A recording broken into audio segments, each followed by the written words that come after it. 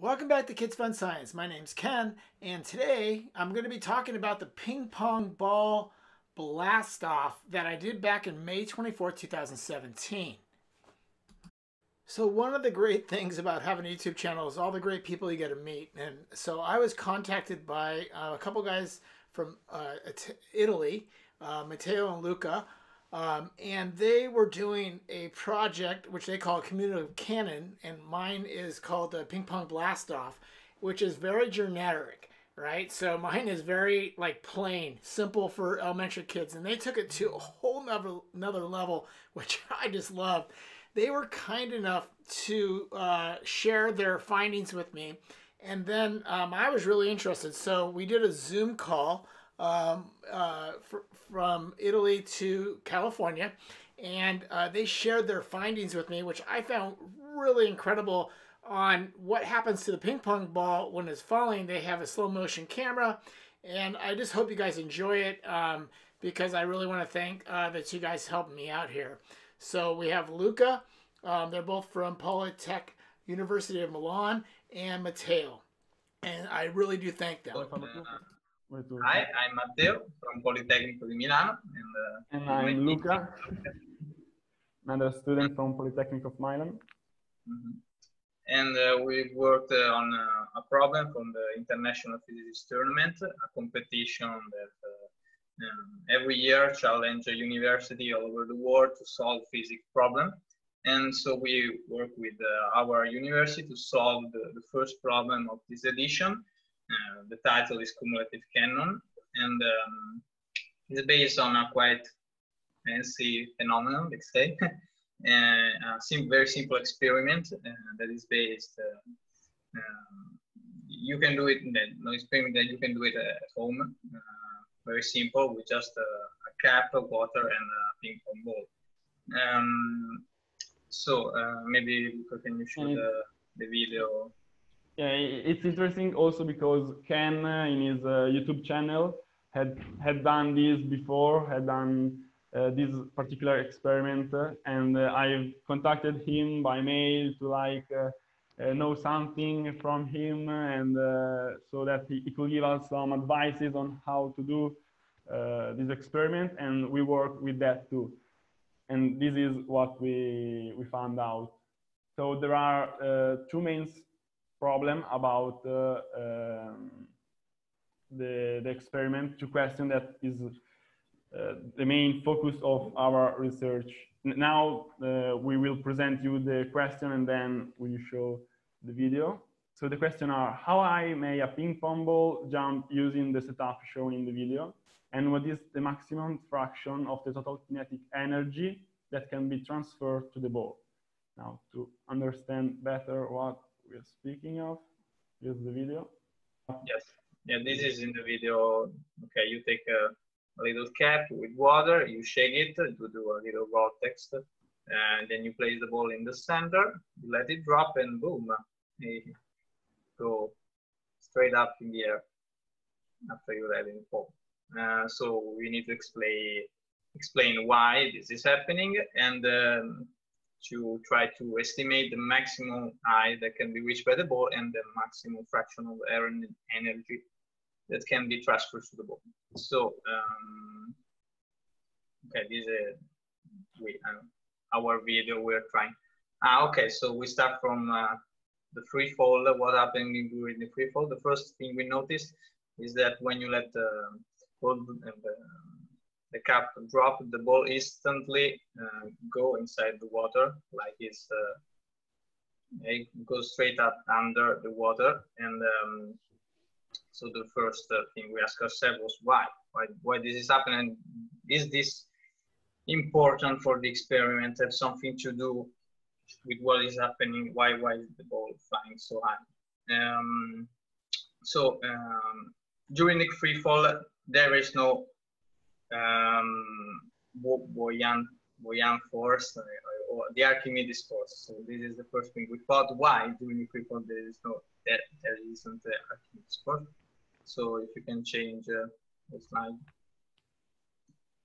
Uh, and uh, if I am talking uh, like bad. I, am not. I uh, didn't have a bad, uh, good English, so tell me if, if you there want, is something can. you can't understand. Okay, Yeah, it's it's it's perfectly good.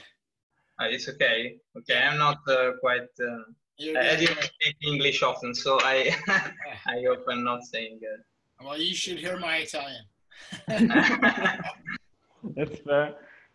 Uh, okay, quest. Um, this one, then, because I don't remember the PowerPoint. Okay. Maybe we can explain here the concept of the buoyancy force and why during the free fall there is no buoyancy force Yeah. actually. The, the main question that we asked ourselves after seeing the video was that uh, something was happening during the free fall.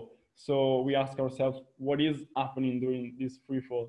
And uh, what we can, we have found out is that if you, you take the cup with the water and the ping pong, and the ping pong ball inside it, and you like left it on a table so that it doesn't move, uh, there is the buoyancy force that keep the ping pong ball above the water, like when you're playing in the pool with uh, uh, inflatable and uh, they don't sink.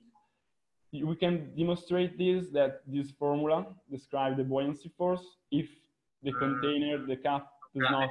So I was saying, um, this is the equation that you can use to describe the buoyancy force if the cup is standing still with no acceleration, like not free falling.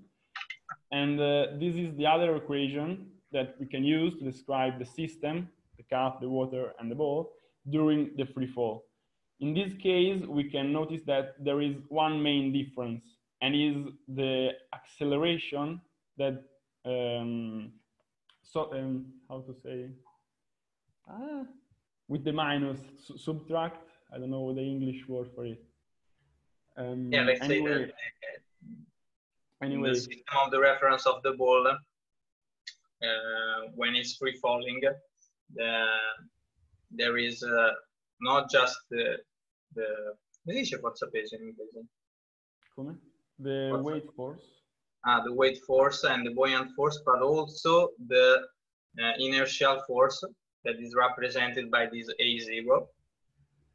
And this and this uh, acceleration, the inertial force subtract with the um, uh, weight force uh, and give a Archimedes for a buoyant force that is uh, zero. I In, think in easy words, in easy words, is just like the cup is free falling, so the water is not pushed to the bottom of the cup, and uh, in order to this, there is no uh, buoyancy force that the water applies to the ball. In fact, if we mm, doesn't consider the um, friction of the air during the free fall, this acceleration here, with whom the, the cup falls, is equal to g, that is the um, uh, gravitational acceleration. So these terms here is likely very close to zero.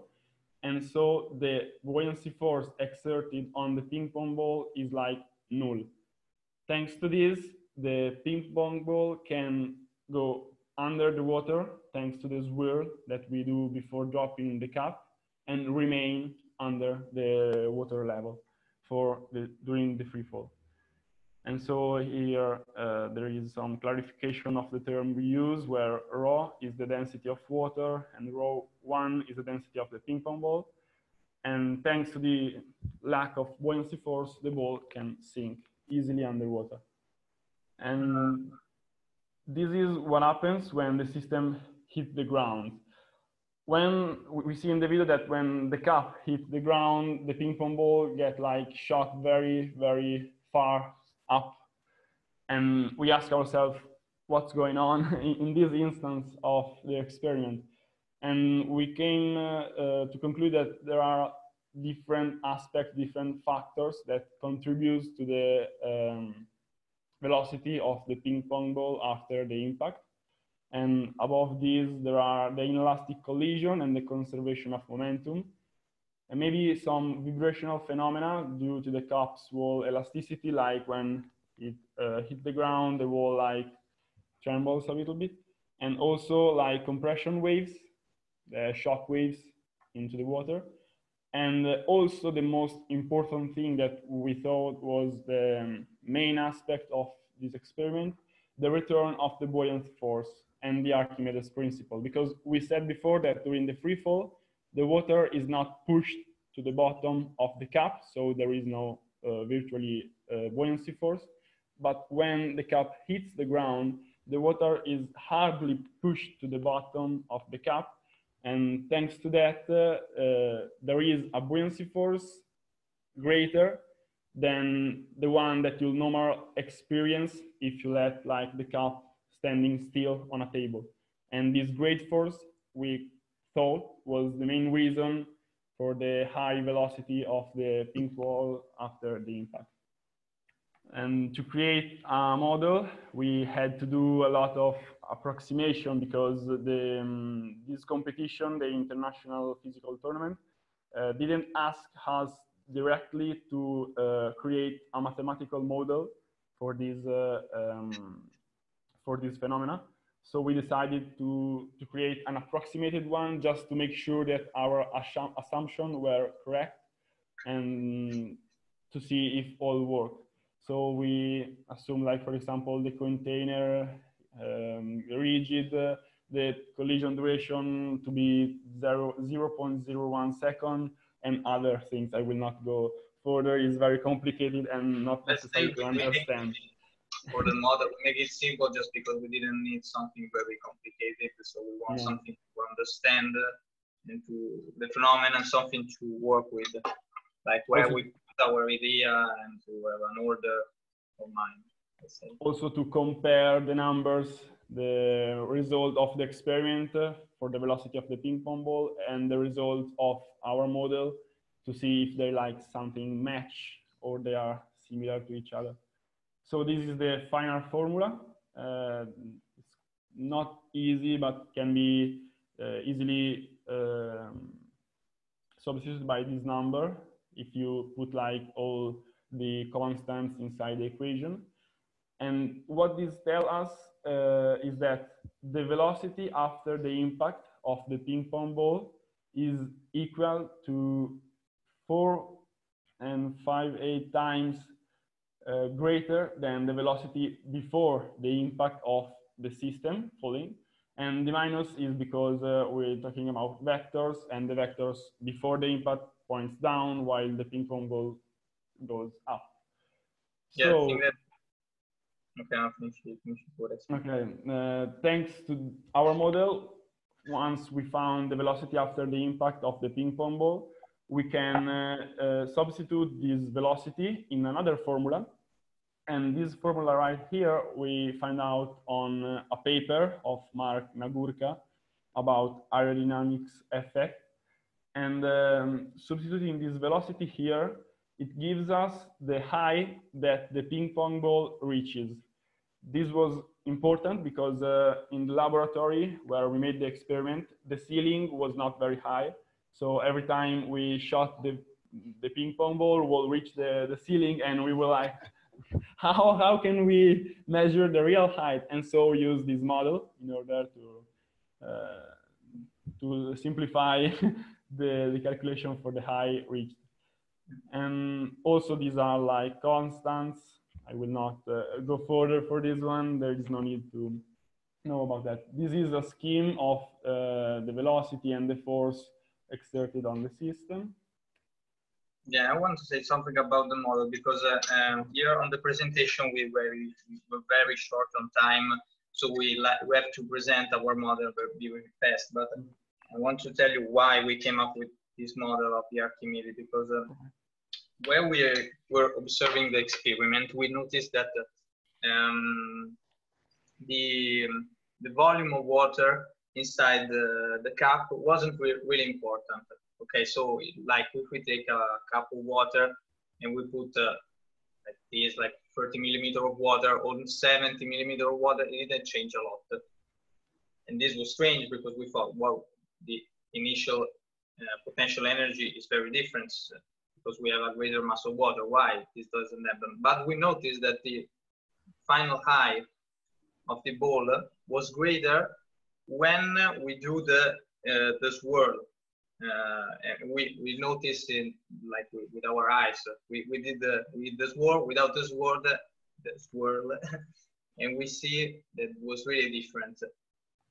And when we noticed that with this swirl, the ball um, sink uh, a lot, okay, during the free fall, because with this swirl it was really sucked inside the water. We thought maybe it's not important the water, but how much the, the ball is inside the water, just that, like the Archimedes force. So how much is uh, volume is inside the water. And um, in fact, we came with this model. at the end, you see that the, the velocity after the impact depend only on the velocity before the impact. And the velocity before the impact depend only on the initial height because, because of the conservation of the energy. Like there is no dependence on the mass of water that yeah, we use. Water. And so we thought, well, this model quite work. It would fit our uh, observation and uh, and we like it. we, we keep it and uh, it, it also just justify um, the high velocity because uh, four time the velocity before the impact is uh, really a lot because the velocity after the impact is like uh, Uh, 10 uh, meter per second and uh, with this model uh, we have uh, a previ mm. prevision that is greater than this velocity. With this model, we were like 20 meter per second the velocity after the impact. So if it's greater, it's okay because we can then say that for other effect like loss of energy or other thing that maybe we'll see later, it could uh, make sense. Okay, the model. Also, uh, after, even numerically. Yeah, in the in the end of this presentation, we also have a lot of videos showing uh, how fast we reached velocity for the ping pong ball. So that's the, the, fun part. And yeah. so about the variables of the experiment, uh, there are, uh, as I said before, it's like complex to analyze this experiment. There are a lot of variables. Uh, like you can vary, you can consider the initial high from where you drop the cup, the volume of liquid used, the type of container, like a metal one, plastic one, rigid plastic one, also the type of fluid, we thought to use oil or maybe some other things other than water. And also about the material on the floor, like if you want to drop the cup on wood or on a stone or things like that. We then decided to just vary the first three things because it was easier and because uh, the, the question asked us to use the setup um, shown in the video so that we didn't vary the, the rest of that. So this is some photos of our setup. Like we have here all the cup and containers we used, uh, some water bottles. Most of them broke during the impact. Yeah, that's what's great about experimenting is just keep trying different things. Yeah, yeah we, had, we had a lot of fun. that also was the fun part because you, you didn't know what to expect when you drop a container or a cup. So you were like, maybe it will jump higher, maybe not. Maybe it will just explode after the collision. Who knows? Yeah. And uh, this is uh, this was the tripod that we used to make the recording with uh, a cell phone. And yep. the, the phone that we used, we used in slow-mo uh, videos at 240 frames per second so that it was easier to analyze for us the velocity of the ball. And to analyze the velocity of the ball, we use Tracker. That is a program that helps you um, calculate the velocity, the acceleration, the position, the height, whatever things you like of a moving object in a video. So by doing this, you take the video, you put on some references like the x-as, the, the y-as, and uh, also a length reference for example, we use this uh, piece of wood that we uh, created so that it was one meter long, and we use it to calculate the velocity and whatever we needed. Calibrate, because we need a calibration of the program. Yeah. It's telling how much is a meter. Nice. Okay, this is a comparison of what we found out during the experiment and what was our model. Uh, the first, the first uh, thing to notice is how the variables influences the result of the experiment. We said before that the, there is no dependence on the mass, the volume of water used. And as we can notice uh, for this particular cup, but also for the other container that we used, is that even increasing the, the water used during the experiment and maintaining the same initial height, the velocity of the ping pong ball would just remain quite constant during all the time, around seven meters per second. And this confirms our theory about our model uh, that says that there is no dependence on the mass. And for, uh, so we had used uh, the, the most funnier uh, cup was the, the bottle. Uh, the, you, okay, you take a bottle, you cut it and you let it drop with the water. And um, with the bottle, we can let them fall from very from very high. So we let them draw like from four meter or from uh, three meter, and we see very fast uh, launches. And uh, we have noticed uh, that uh, if you start to go really high with the initial height, um, the velocity after the impact with the, will remain the same more or less. So there's like an horizontal uh, asymptote on the um, graphic of initial potential, initial potential energy and kinetic energy after the impact. And um, this is important because uh, it tells us that uh, you can't uh, um, go up to an infinity velocity of the ball.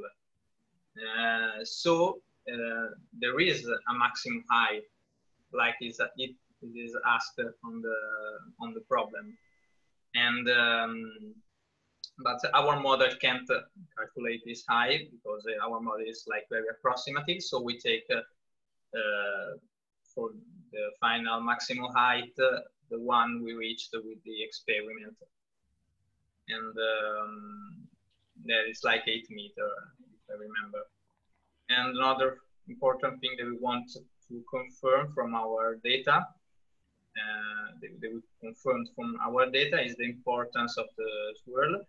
Uh, as we said, uh, if you look up the velocity after the impact, um, with the swirl and without the swirl, they are uh, uh, quite different. Um, you can see even with other container that with with the swirl is higher, the velocity after the impact, and so the, the height reached by the ball. Uh, confirming that uh, um, if the ball have a greater sink more, uh, yeah, yeah, if it sink more, uh, it go, it will go higher. Ah, okay, yeah, there's, there's the video on the rally. That's one of the fun video we talk about. Ah, yeah, this why. On the left, we have uh, an experiment where we drop a cup without doing the swirl first. We can see that the ping pong ball doesn't sink and uh, the cup also breaks with the impact of the ground. This is uh, probably due to the, mm, the impact compression waves that creates in the water and they can't like, uh, uh how to speak, they can free their force, they can transfer their energy to the ping pong ball. So the, the walls just break out for this pressure inside the cup. While on the other hand, if we swirl the cup before dropping it, the ping pong ball will sink and all this energy that the water assumed by hitting the ground will transfer to the ping pong ball that is underwater and uh, make it jump. In this case, we notice another important thing as is that uh, this particular ping pong ball does not jump as high as other ping pong ball. This is because the diameter of the cup that we use is very important. Uh, in fact, we can uh, see that if the diameter is um, comparable to the diameter of the ball, uh, the ping pong ball will not jump very high because there is no space uh, between the wall and the ping pong ball to let the water pass easily. And so it will just like uh, um, be slowed by this process. Answer to the question of the problem. As we said, uh, we, we have seen an asymptote, so we thought, okay, the maximum height is the maximum, uh, is correspond to the maximum velocity we see. And this, uh, we see the maximum velocity is 22 meter per second.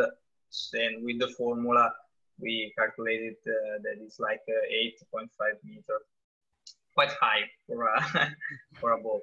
And if I remember well, this was let, it was dropped for a per meter. You can see there's a stair behind it because we we climbed up on, uh, on a stair when I was university like, and let it drop. it was like me, me and him dropping water bottles from a stair with people passing by, and they just like, what is happening right here? I hope no one saw us from like the director. This is the video.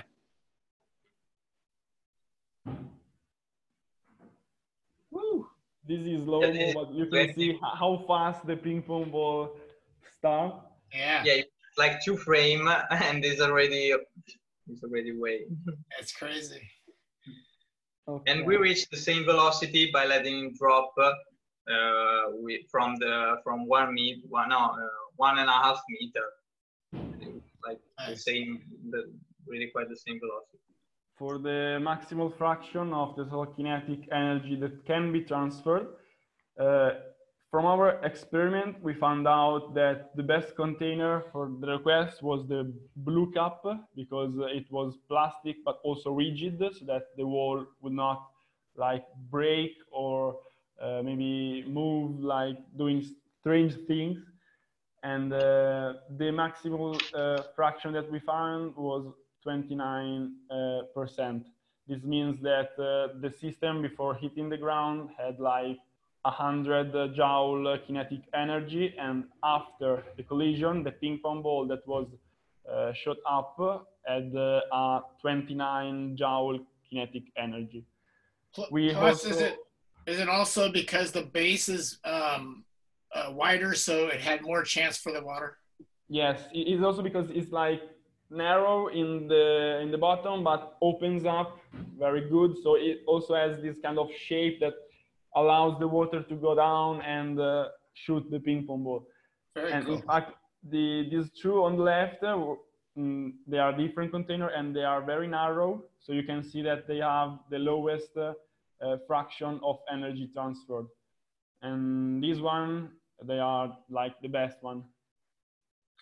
Also, the, about this request, it is not like uh, uh, a limit in every case it very depends on the type of container that you use. We just tried this one, but maybe if you had like another cup at home that we didn't see and you use it, you may find a higher fraction or maybe a lower one. It very depends on the material and the shape of the container used. And this is the last thing. This was a very another very interesting shot that we took where the bottle would flip and then yeah, like we did a flip bottle challenge by dropping bottle. hey, people try to flip that all, all, day long to get it land like that. yeah, this was harder, and also see like the ping pong ball just disappear in a frame of the video on the left. Yeah, I didn't see it. Yeah.